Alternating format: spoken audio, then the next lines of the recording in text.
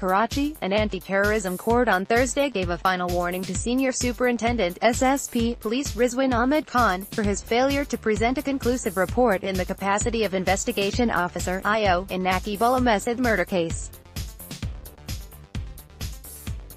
Earlier this year, shopkeeper and aspiring model Mehsud and three others were shot dead in a police encounter. As the hearing went underway, the IO presented a report which apprised the court that efforts to arrest the absconding suspects are going on. The report said the suspects will be apprehended soon. The accused in the case, former Malir SSP Rao Anwar along with others accused of the extrajudicial murder of Naqeebullah also appeared before the court. Dismissing the report presented by Dr. Rizwan, the judge gave a final chance to the IO to submit a report on the absconding suspect.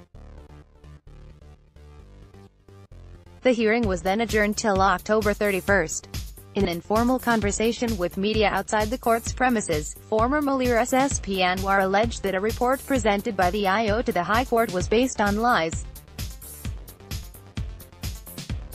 The investigation officer is misstating facts. I am living at my residence and will appear before the court each time I am summoned, Anwar said. The former Malir SSP further said that he was unaware of any cases to probe assets owned by him by the National Accountability Bureau.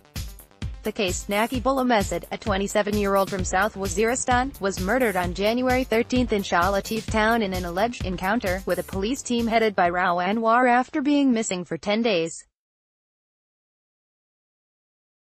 He was accused of having links to militant groups but the accusations proved false upon trial.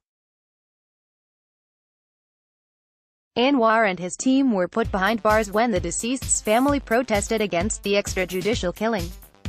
However, later, an anti-terrorism court of Karachi granted bail to the prime accused, former SSP Anwar, after charges against him were not proved.